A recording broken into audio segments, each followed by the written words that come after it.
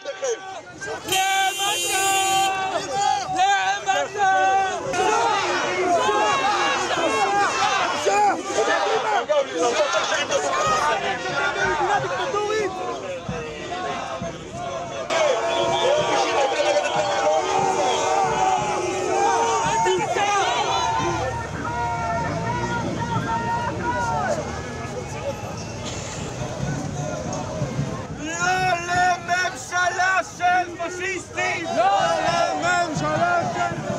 We came to raise our voice in protest, Jewish and Palestinian citizens of Israel, to say end the occupation and advance towards an Israeli-Palestinian peace.